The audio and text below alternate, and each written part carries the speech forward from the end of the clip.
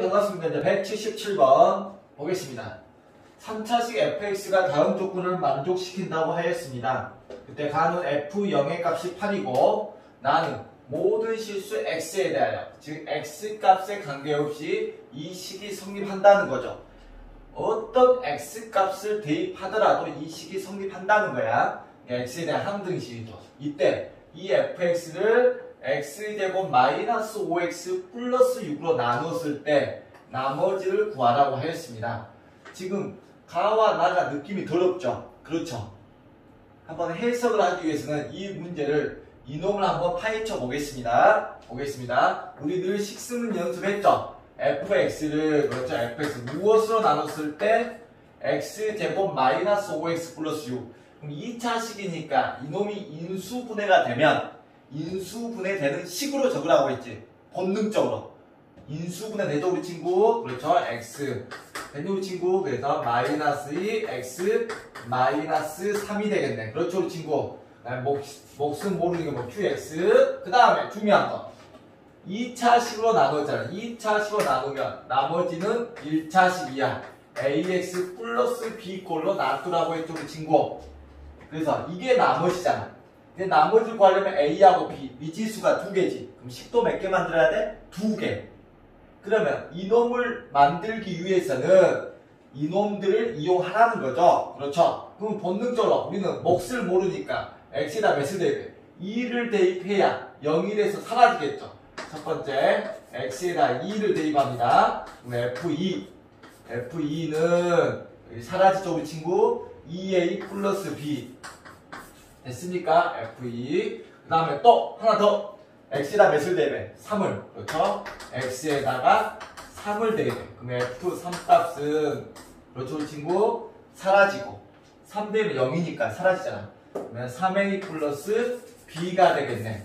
그러면 우리는 F2 값과 F3 값을 알아서 둘이 연립해서 A와 B를 구하면 되겠죠. 그럼 F2와 F3은 여기서 찾아봐야 되겠지. 그렇지, 우리 친구. 그럼 봐봐. 봐봐. F2 값을 찾아야 돼. 그럼 X가 몇을 대입하면 될까, 친구? 빵을 대입하면 되죠. 0 더하기 2는 2니까 F2 값이 나오겠지. 오케이? 한번 이걸 이겨봅시다. 그러면 여기다가 X에다가 빵을 대입해. 빵. 그러면 8F2가 되죠, 우리 친구 는 F빵 플러스 빵이 되죠, 빵. 적을 필요 우리 친구. 됐습니까? 근데 이 F빵 값이, 이 F빵 값이 몇이야? 8로 나왔잖아, 8로. 끝났네. F2 값은 얼마가 됩니까, 우리 친구? F2 값은 1이 되겠네. 8 F2 값은 8이라고 나왔으니까. 양근에 8로 나누면 F2 값은 1이 되겠네. F2 값은 1이 되고. 됐습니까, 우리 친구? 그 다음에 무슨 값 구해야 돼? F3 값. F3 값을 구하려면 X에다 몇을 대입해야 돼? 2를 대입해야 되겠지? 또는 2분의 3을 대입해서 약분해서 3이 되잖아. 근데 2분의 3은 분수니까 느낌이 좋아, 더럽고. 더럽죠? 그래서 X에다 몇을 대입해? 2를 대입하면 F3이 되죠? 그래서 X에다 몇을 대입한다고? 2를 대입해. 이 식에다가, 오케이? 그러면 8, F, 오케이?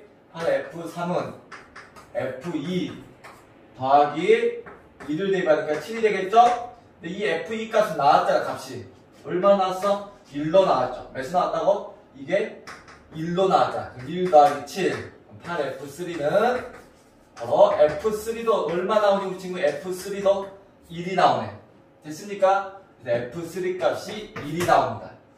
연립하면 되겠죠? 우리 친구 연립, 연립 빼주면 되겠네? 빼주면 사라지고. 그래서 마이너스 A는 2A 빼기 3A니까 1 빼기 1에서 0이 되죠, 우리 친구. 됐나, 우리 친구? 그래서 A는 0. A는 0이 됩니다, 우리 친구. 맞나? 왜 A가 0 나오, 거 맞아요?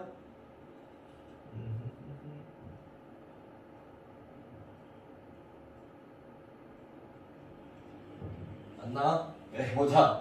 0이면 B는 얼마나 할 B는 1이 나오겠네. B는 얼마 나온다고? 1. 고로 나머지는 몇이다? 나머지는 1이 되겠네. A가 여기고 B가 1이니까 나머지 몇이라고? 1이 되겠습니다. 맞네요. 다시 한번 우리 2차 식으로 나누면 이게 인수분해가 되는지 본능적으로 인수분해 된 식으로 적어. 우리가 늘 배웠던 패턴 몫을 알아 몰라? 몰라. 그럼 몫이 사라지기 위해서는 이 값들이 0이 돼야 되지. 그래서 x가 몇을 대입해? 2를 대입해. 그럼 2a 플러스 b는 나오죠 그 친구? 그 다음에 3을 대입해야 되겠지. 그래서 3a 플러스 b. 이 f2 값과 f3 값은 요놈의 식에 의해서. 오케이? 왜? x에 대한 항듯이니까 x 값에 어느 값을 대입하더라도 성립하니까. 아주 좋은 문제죠? 됐습니까? 선생님 숫자가 너무 이상하게 나와서 좀 봤어요. 오케이? 예.